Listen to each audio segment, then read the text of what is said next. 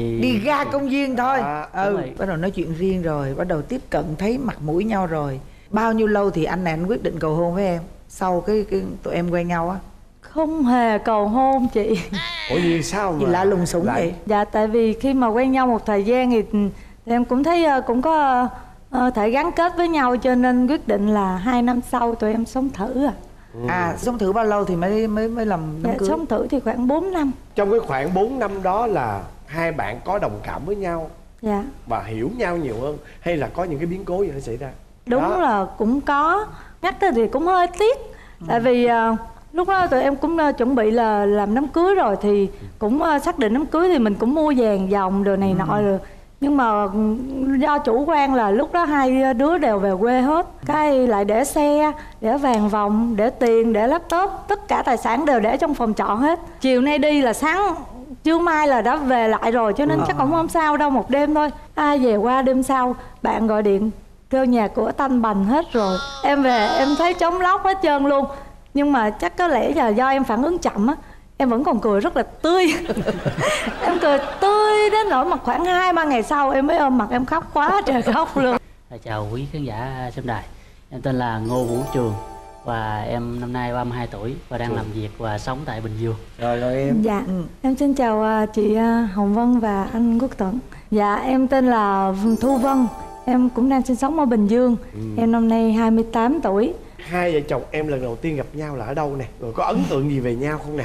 Quen nhau á là tự em tìm hiểu. Lúc đó thì à, chia tay bằng ghế cũ thì nó cũng qua rồi thì cũng đang buồn. Nên cũng tìm à, bạn bè ở trên Facebook thì vô tình à, không? trong nhóm bạn của một người bạn. Em thấy hình avatar thì thấy à, mũm mĩm cũng dễ thương.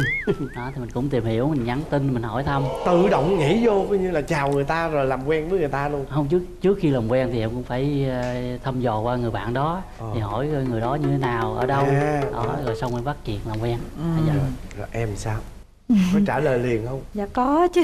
Tại vì em gọi là ế lâu năm rồi. Xong rồi cái cũng ờ, thấy tin nhắn thì em cũng có đi vô trong ờ, trang cá nhân rồi. Em cũng phải ờ, tìm hiểu lịch sử anh này coi rõ ràng hay không. Thì em thấy ảnh cũng có nghề nghiệp ổn định tướng tá cũng ok. À, em bắt đầu cũng muốn tạo cho mình một cơ hội nên Nên là em cũng có trả lời. qua lại với nhau. Dạ đúng rồi ạ. Wow. rồi. Bao lâu thì tụi em gặp nhau ngoài đời? Chat thì khoảng uh, 2 đến 3 tuần gì đó. À. thì à, em nói là mình phải à, xin để mình cơ hội mình gặp ở ngoài chứ mình không thể chat như vậy và được. Nhiều lúc xin thì nhiều khi cô ấy cũng không không có chịu. Ừ. đó, sau đó em thấy là lúc đó à, cô ấy đăng lên là bị cảm. Thì em nói là cái cơ hội tới rồi mình phải tận dụng thôi. Đó, phải ra chiến thuật liền. Thì lúc đó Chiến thuật sao nè? Em mới ra ngoài em à, cảm thì mình phải dùng cam để vitamin C mình bổ sung vô cho nó hết. Xong rồi em mua nước cam lên. Gặp bạn ấy ở trên ngay chỗ làm việc em đưa cho nước cam nói à cho ly nước cam này. Rồi xong em đi về.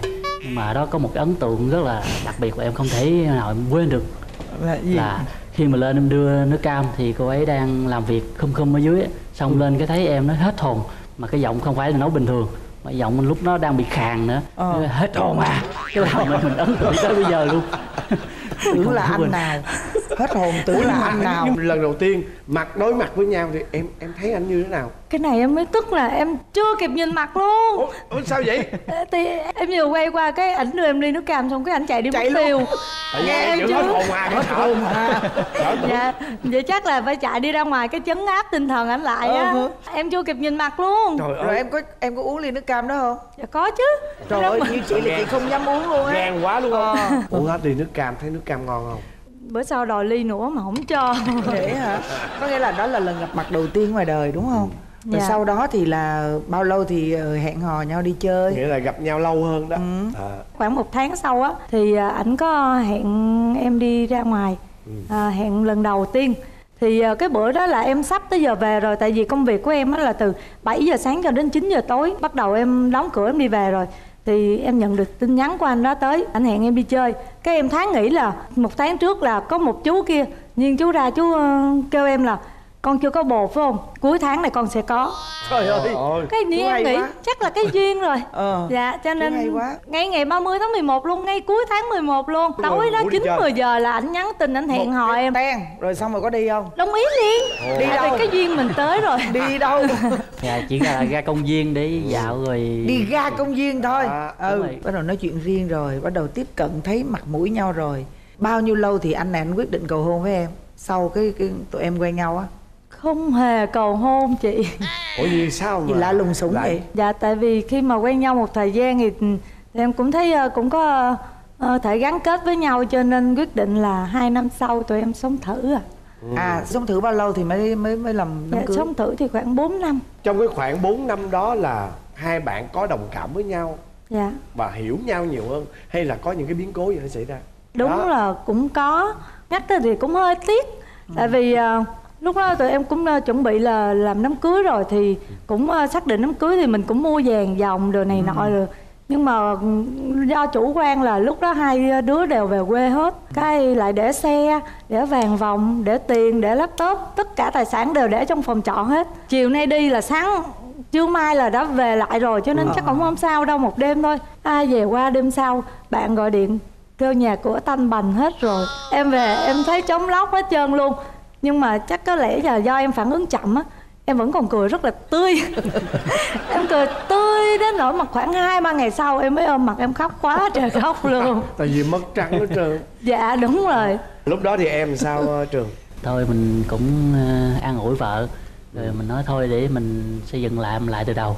Chắc có lẽ vì vậy mà tụi em phải 4 năm tụi mới cưới đúng không? Tức là phải chậm lại đúng cái không? chuyện mất mất theo lẽ như là bữa đó là cưới không bị mất là coi như cưới liền được rồi. Dạ. bây giờ mất xong giờ phải chắc phải làm ăn thời gian nữa mới có Dạ, số vốn cưới chứ đúng không? một năm sau rồi chị. Ờ À, nghĩa là- nay là cưới được ờ, mấy năm rồi ta? Cưới được ờ, một năm ờ, bốn tháng. Một năm bốn tháng. Dạ. có em bé chưa nè? Dạ em đã có em bé được 7 tháng rồi ạ. À, chúc mừng hai Dạ. em. Dạ. cảm ơn anh chị. Rồi sau khi đám cưới rồi bây giờ có cái chuyện gì nó xảy ra nữa không? Ừ. Có cái biến cố gì nó xảy ra nữa không? À, biến cố thì khi mà em biết có bầu á, thì khoảng lúc đó được 4 tháng thì chồng em đột nhiên phát bệnh phát một cái cơn bệnh này gọi là bệnh vẩy nến. Ừ. cho nên nó đã càn quét tất cả tài sản tiếp Cả- theo. dạ tại vì cái căn bệnh nó rất là khó khăn là do là ngày nào cái vảy ở trên người á nó cũng rớt xuống như vảy cá vậy đó. Ngày nào mình cũng phải quét bằng cái ghi rác luôn.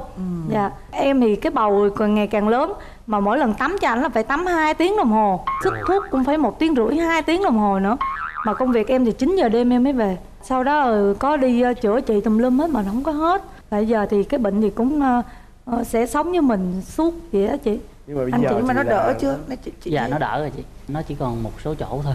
Với lại may mắn hơn một cái là gần tới ngày em sinh á thì còn khoảng một hai tháng á thì anh hết bệnh cho nên ờ, em chứ nó không vác bụng bầu đi rồi tắm cho anh là em không biết tắm sao luôn. Cái đó là đêm nào em cũng khóc á tại vì có bầu mà em cũng ráng kìm lắm nhưng mà không thể nào được. Tại vì ngày nào mình cũng tắm cho anh mình cũng đã thấy những thấy cái mình đau đớn á. đó ừ xót Dạ. xa cái cảm xúc của em thời điểm đó em em thấy vợ em mà như vậy đó vừa mang thai vừa lo cho mình cái cảm cảm xúc của em lúc đó là sao? Sự lúc đó em rất là cảm động. Ừ. và thấy thương vợ mình. Cái bệnh này thì nó cảm giác mình nó, nó gây cho cái bản thân mình nó rất là stress và Ừ.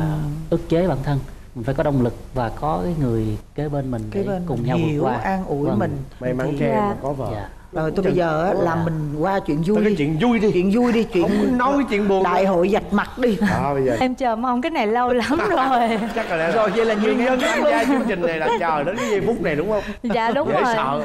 Mời dạ em. nói ra cái này thì xấu hổ cho chồng quá. Nhưng mà đã vạch mặt mà Ờ. thì phải xấu hổ chứ. Tối nào em ngủ em cũng phải thay mấy cái áo luôn. Là sao? Anh chị biết sao không? Ông khoái ôm em. Ờ. mà ôm xong rồi cái ngủ á chảy vậy nè. À, chảy vậy nè. À, dạ. Ông muốn để lại một hương vị nồng nàn. Thôi em. Rồi, còn tiếp. cái vấn đề cái là em bực cái này là bên bực. Ảnh cứ ờ, cái căn bệnh của ảnh là căn bệnh không thể nào thức khuya được. Ừ. tại vì thức khuya ờ, hoặc là stress hoặc là không tập thể dục thì cái căn bệnh nó nó nó sẽ, Sẽ tái phát. lên. Ừ. dạ. Nên còn một cuộc sống lành mạnh mà tối nào cũng một giờ mới ngủ. Hai ba giờ mới ngủ. Hỏi ra thì cứ làm việc. Thì cũng đúng là ảnh cũng làm việc nhưng mà thời gian làm việc cái anh sẽ trích thời gian. Bấm cạch cạch cạch cạch cạch bấm ờ, bấm chơi game đó anh chị. Cạch cạch cạch cạch. Ồn em ngủ không được. Em nói hoài à, mà ảnh cứ thức khuya hoài. Cái này là tật xấu. Rồi lại cứ bấm điện thoại. Đi vô toilet chút xíu hoặc là tắm cũng cầm điện thoại ăn cơm cũng cầm điện thoại. Ừ. em nói bao nhiêu lần em kêu anh ơi thời gian mình đã không có với nhau rồi thì lúc mà ăn cơm anh để cái điện thoại xuống đi. Hai vợ chồng ăn cơm cùng đàm thoại nói chuyện với nhau. Cái vừa nói xong thả xuống 5 giây sau cầm lên coi bị tiếp. nghiện đó. Dạ nghiện À. lắm. Nhưng mà thức khuya mà có tắm đêm luôn. Dạ có chứ. Về nhà ví dụ như về nhà cho dù 7 giờ hay là 9 giờ đi chăng nữa thì cũng 10 giờ mới tắm. Còn gì nữa không? Có mê gì không? Ngoài mê game mà còn mê gì nữa không ảnh thì ờ, rất là mê mô tô nhưng mà em rất là chiều chồng. Khi mà cưới nhau về xong tiền cưới em đưa ảnh hết để ảnh đi mua mô tô. Trời ơi dữ luôn á cưng ghê không? Em nhiều khi em thấy em là người vợ lý tưởng lắm. Quá lý tưởng luôn đó vậy là Dạ. chắc không cần phải kể ờ, tật xấu của cô vợ đâu. Đúng làm gì có tật xấu nào? Có gì có. có không có. Không để em kể chứ. Nãy giờ anh đè nén mà. cái tật xấu của vợ em á là rất là tiết kiệm. Khi đã ở ở sống thử với nhau á là tính tiết kiệm nó đã lộ ra rồi ờ. Thì nhưng mà nè tiết kiệm là tính tốt nha chứ không phải tính xấu nha. Nó phải chỉ nó phải khi nào bo mà rồi ki bo đó mà gọi là gì trùm sò đó thì mới là xấu nha. Những lúc mà giận nhau á hay mà không nói chuyện với em Ừ. nên em cũng phải tìm cách gì đó để uh, dỗ dành. Đó, xong mình cũng mua đồ ăn về Ừ. mình nói à em ơi anh có mua đồ ăn để đây nè. Cũng nghe cái món của chị thích. Ừ. Đó, mình để đó. Mà giận không thèm nói chuyện luôn. Không có muốn ăn uống gì hết. Giận ngủ. Ừ. thì thôi mình dỗ hoài cũng không ngủ. Thôi mình cũng nằm kế bên mình ngủ. Mà cuối cùng xong cái khuya mình giật mình dậy mình không thấy đâu thấy chỉ lồm cồm ngồi dậy bật đèn lên ăn hỏi sao ăn khuya vậy? Nói là ăn chứ để nó nó, nó Hư uống đúng nó không? uống. rồi. Không cái này là cái này là chưa phải tật xấu. Cái này là tiết kiệm là đúng nè nhưng mà cái tiết kiệm là là tốt. Còn cái gì này đâu tính nè? tốt? Sau khi sanh sau khi sanh thì tính tình sẽ thay đổi. Ừ. thì mình cũng có tìm hiểu là à phụ nữ cái hay thay đổi. Mình cũng hay qua mình chọc mình giỡn. Nhưng mà chỉ khi mà chọc giỡn là chỉ giật mình giật chó rồi nào là cọc thì kia. Nó rất là Là hay quạo. dễ đó. Vậy đó hả? Bản năng tự vệ đó đúng không? Dạ tại tại vì khi mà đang cho con ti á Đang cho con bú ti đúng không? dạ đúng Ừ. rồi. Mà cứ nhào nhào vô em rất là bực à, à nhây dạ đúng rồi dạ rất là nhây cho nên là bị Dạ. giật chỏ. Với lại dành của đứa nhỏ trời anh, anh chị biết em cũng bị phản ứng chậm nữa mà. Ờ. cho nên khi mà em đang nằm cho con ti thì em lại nhớ đến những cái gì ảnh làm cho em bực bội. Cái bắt đầu ảnh em nhìn thấy cái mặt là em không ưa nổi nữa rồi. Nên sấn tới cái là em xô ra liền. Ờ. em bị phản ứng chậm lắm. Thành ra là nó cũng có lý do của nó. Có bao giờ mà bà tiết kiệm một ngàn đồng hay là hai ngàn đồng hay là năm trăm đồng không? Có chứ anh ví dụ như à, kêu em đi mua sữa cho bé Ừ. Vâng. phải dặn là tới cái điểm A đó mua. Ừ. thì em cũng chạy tới điểm A nhưng mà điểm A à, nó hết sữa rồi mà cũng nói giá cho em luôn. Ừ. xong rồi hết sữa rồi nên em cũng phải tự tìm chỗ khác. Tìm chỗ khác thì mới biết ra là nó chỉ trên lệch có một ngàn thôi. Ừ. mà nó cách khoảng mấy cây số á. Vậy mà hả? phải bắt buộc em phải chạy tới đó. Tiền xăng. Chạy lại. Em mới nói là rồi. "Trời ơi tiền xăng nó còn hơn cái tiền em tiết kiệm nữa. Ừ. Giờ em mong muốn vợ em thay đổi điều gì? Giờ em thì rất là chăm sóc kỹ cho em tốt.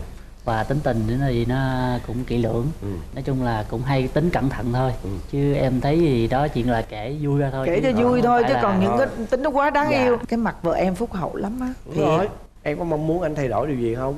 Dạ thì chồng em thì em cảm thấy ảnh quá hoàn hảo rồi. Vậy luôn hả? Chỉ có cái vấn đề mấy cái vấn đề nhỏ nhặt là tắm hoặc là Đừng ít tắm tiếp đêm. xúc điện thoại nè. Đừng tắm đừng đêm. tắm đêm với lại chăm sóc cái sức khỏe của mình nhiều hơn một chút Đó. à là chỉ có cái đó thôi à ờ. Rồi.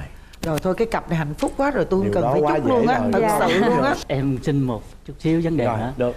Trước khi cưới thì em có hứa vợ là có một màn cầu hôn nhưng mà do tính em cầu toàn quá nên cái dịp đó em không thể xây dựng được một cái kế hoạch hoàn hảo cho cầu hôn đó thì sẵn đây em mượn cái chương trình thì em Hay quá. xin làm cái lại đó để trời ơi Rồi. hay quá hay quá tuyệt vời. Đó. Trời ơi. Cho em cái sức cảm ơn em đã đến bên anh vượt à, với anh qua nhiều cái khó khăn. Anh biết là tới lúc này vẫn chưa hết cái khó khăn nhưng mà trở về sau anh nghĩ là mình sẽ có cái động lực để mình vượt qua những cái khó khăn sau này hơn nữa. Và em hãy đồng ý làm mẹ của bé bơ nhé trời ơi thiệt tôi ganh tị quá à. trời ơi hay quá. Ôm ôm nhau rồi trời ơi. Hay quá. Em cảm ơn chồng rất là nhiều. Luôn luôn đồng hành với em trong những lúc khó khăn. À, hai vợ chồng mình à, cùng à, tìm bé bơi nhé. Rồi dạ. tuyệt vời hay